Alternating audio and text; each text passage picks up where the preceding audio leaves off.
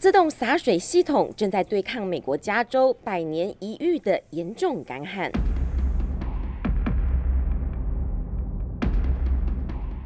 So this is a crisis. This is unprecedented, and we need to do it now. 有六百多万名南加州人从六月一号起，在严格的限水令下启动与干旱共存的新生活。Do you have a leaky faucet? Time to fix it. You have a leaky toilet, time to fix it. Do you have, if you're washing your clothes, don't put a jeans and a t-shirt. Wait till you have a full load, then do it.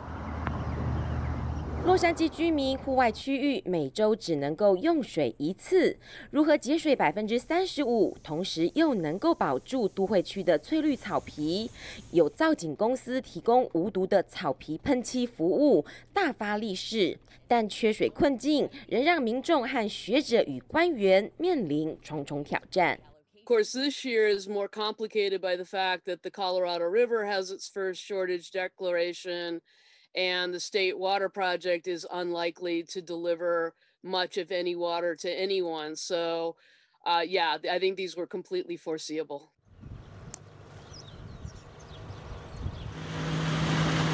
超级干旱 （Mega Drought） 除了发生在北半球的美国和伊拉克等地。 镜头来到南半球国家智利，旱情同样拉警报。首都圣地亚哥今年启动分区停水，这可是智利史上五百年来的头一遭。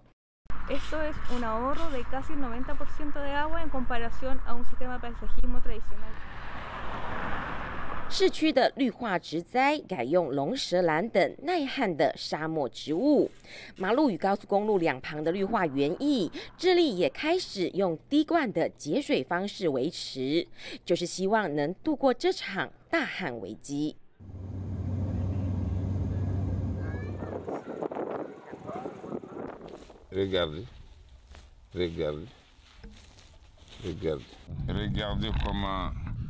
La couleur de notre terre a changé, tantôt rouge, tantôt noir, tantôt des grains, tu vois. 伊索比亚等非洲国家同样饱受旱灾所苦。世界银行预估，到了2050年，全球将有逾两亿人会因干旱而流离失所。要减缓干旱带来的灾害，联合国建议各国政府与民间单位要尽早启动以下作为，包括改种抗旱抗盐的作物，减少用水总量，并尽量减少肉类产品，才有机会守住域区珍贵的水资源。大新闻，吴桂珍编译。